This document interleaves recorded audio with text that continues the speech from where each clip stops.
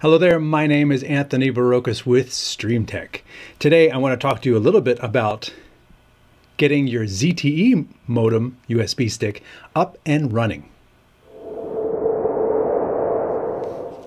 I've been using these ZTE sticks for several years now and I find them very reliable and very easy to use. But some people may have trouble because they stick their SIM card in, they stick it into the device that they're trying to use and it doesn't work. That's because you need to configure it first. Let's see how we do that. We're going to do this live here because that's what the StreamTek show is all about. So I am going to stick this in a computer. I've got a little computer here and that's my streaming company, Stream for Us. So I stick that in. And then uh, when I come down here on the bottom and I go to my folders, you will see that I go to PC. There it goes. There's a CD drive now. And there is the ZTE modem. That is the software you need to run to get your modem configured. It's included on the USB stick part of the modem. This ZTE stick also has a slot for memory, so you can stick in a micro SD card for additional storage, which is handy since you're already using that one USB. It's now data and storage at the same time. So let's open this up. Yes. And what it's going to do is it's going to install the software you need to configure your modem.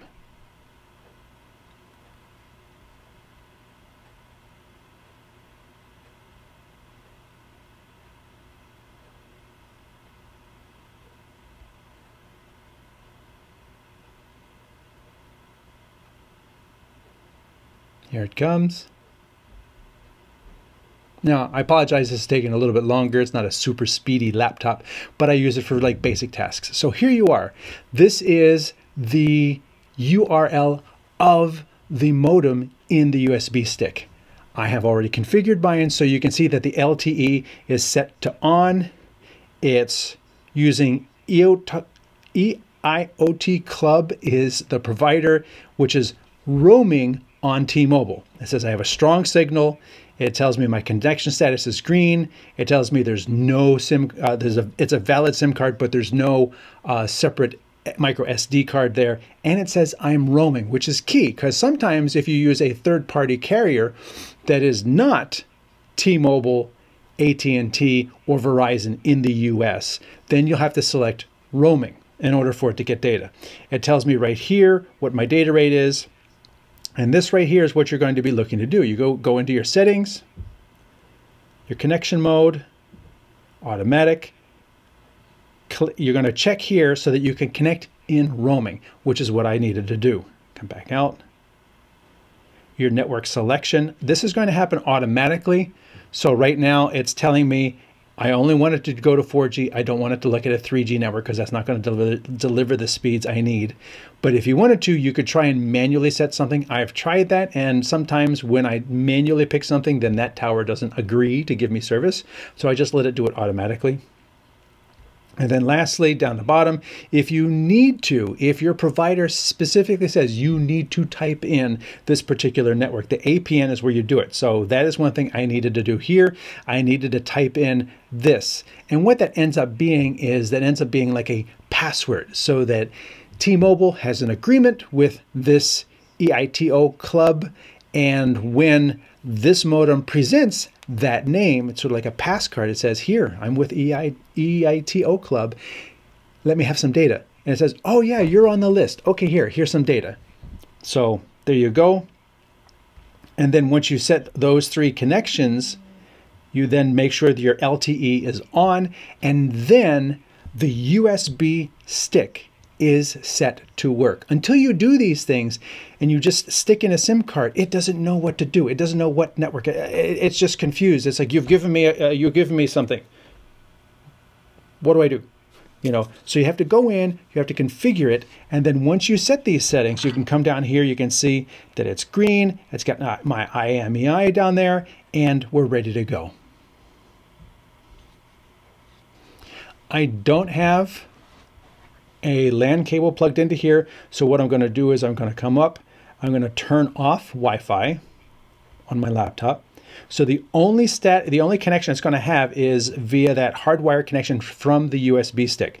I'm going to come back over here. I'm going to go to the speed test, and I'm curious too because this is roaming. So in my home office, using this USB stick, I'm curious what kind of speed I'm going to get. So this is going to be a real world test live. I haven't done this before. I'm going to say go.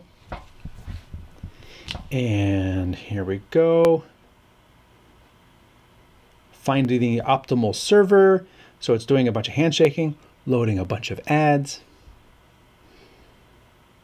And then eventually it should make a connection and allow Speedtest to access your location. Yes, you're going to need to access my location to find the nearest server. All right, here we go.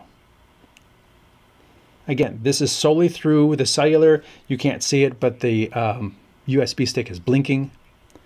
And I am getting this is download speed first.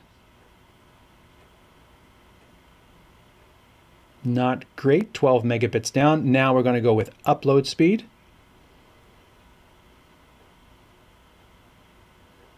Thinking about it. I hope this is not representative of my actual upload speeds. Yes, it was. so this did not work out very well for this USB stick, but that is basically why you do testing.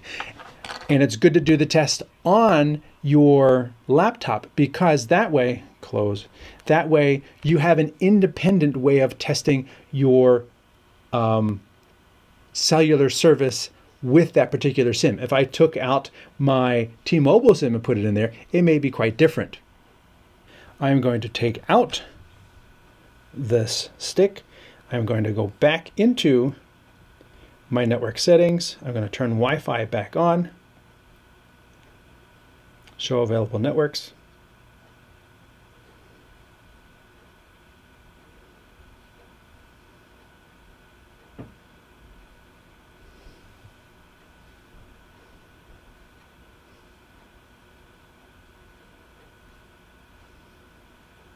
There it is. My Galaxy S10e. I'm going to enter the network security key.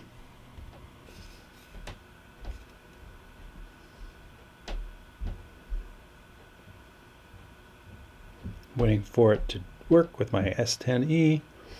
There it goes. Now I'm on my T-Mobile plan. Let us go again. If it finds a new server, This is via T-Mobile here in Texas.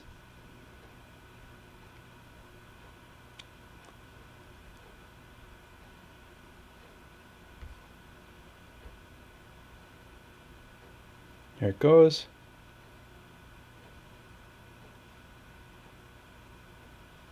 Seventeen, eighteen, still going up. 19, 20. This is this is pretty good for a cell phone. All right. And let's see what my upload speed is. You can see it doing a little bit right here. I don't know what it's, oh, there it goes. Apparently it has to do some handshaking first, and then it can start trying to upload a file. 22. 22 up is pretty impressive for a cell phone. All right. This is probably not the server that I'm really using, but that is pretty good speeds with T-Mobile. Now, the SIM that's in here is a third-party SIM that's in roaming, clearly not getting the best speeds available this is how you go through the process of setting up your ZTE so that you can use it with any SIM on any carrier. You have to go through and configure it first using a computer. And then I recommend doing a test to make sure that it is actually delivering what you need it to deliver. In this case, this carrier is not providing me enough upload speed to make it worth my while. Make sure that you have that available before you put it into your streaming device and find out that it's not working. My name is Anthony Barocas for StreamTek. Thanks for watching.